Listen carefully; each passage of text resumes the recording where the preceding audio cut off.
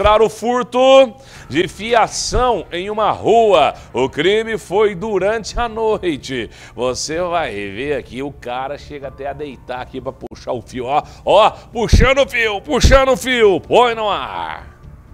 O rapaz segue pela avenida sozinho, uma e doze da madrugada. De repente, some da imagem. O que será que vai acontecer? Mas antes, repare bem nos fios que estão no canto direito da tela.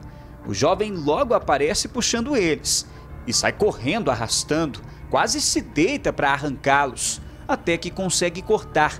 Foge por outra rua com os fios. Já nesse outro vídeo, dois rapazes são flagrados pelo circuito da avenida puxando os fios desesperados. O de touca parece orientar o comparsa, só que os dois saem de cena. A explicação é essa moto que passa pelo local. O de vermelho, que parece estar escondido atrás do poste, volta para a calçada e puxa os fios que estão do outro lado. O amigo também aparece. Com uma faca, ele corta a fiação e sai. Flagrante foi registrado na Avenida Doutor José Justiniano dos Reis, no bairro Sion, em Varginha, próximo a um supermercado. Um comerciante que preferiu não gravar entrevista disse à nossa produção que é a segunda vez que os fios são furtados no local em menos de um mês. Eu vou ter que